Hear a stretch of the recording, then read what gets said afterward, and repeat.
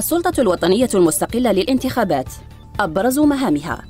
تنظيم وإدارة العملية الانتخابية من التسجيلات إلى فرز النتائج، استقبال ملفات الترشح للرئاسيات والفصل فيها، إعداد بطاقات الناخبين وتسليمها لأصحابها، الإشراف على عملية فرز الأصوات، مراقبة تمويل الحملات الانتخابية، إعداد ونشر تقرير مفصل عن كل عملية انتخابية خلال أجل أقصاه 45 يوماً من الإعلان الرسمي عن النتائج النهائية، تلقي الشكاوى المتعلقة بالعملية الانتخابية والفصل فيها.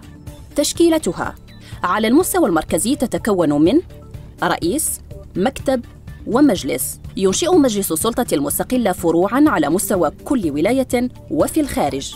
تتشكل المندوبيات الولائية من ثلاثة إلى خمسة عشر عضواً. أهم شروط الترشح لعضوية السلطة الوطنية المستقلة للانتخابات. الكفاءة والخبرة والاستقلالية. عدم الانخراط في الأحزاب السياسية منذ خمس سنوات على الأقل. ألا يكون شاغلاً وظيفة عليا في الدولة. ينتخب رئيس السلطة المستقلة من طرف أعضاء مجلس السلطة بأغلبية الأصوات. في حال تساوي الأصوات يفوز المترشح الأصغر سناً. لا يمكن لعضو من السلطة أن يترشح للانتخابات خلال عهدته ألا يبدي أي عضو من السلطة تحيزاً علنياً لمرشح ما. يمارس عضو السلطة المستقلة مهامه لمدة ست سنوات غير قابلة للتجديد. يتم التجديد النصفي لأعضاء المجلس كل ثلاث سنوات عن طريق القرعة. الأحكام المالية للسلطة الوطنية المستقلة للانتخابات.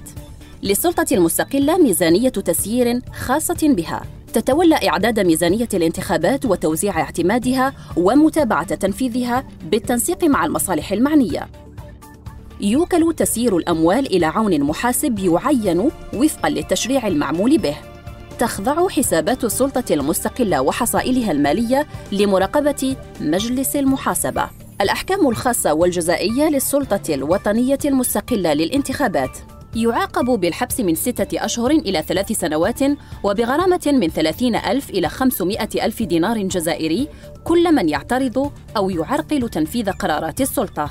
تطبق على إهانة أعضاء السلطة المستقلة خلال ممارسة مهامهم عقوبات المادة 144 من قانون العقوبات والتي تنص على الحبس من شهرين إلى سنتين وبغرامة من عشرة آلاف إلى خمسمائة ألف دينار جزائري.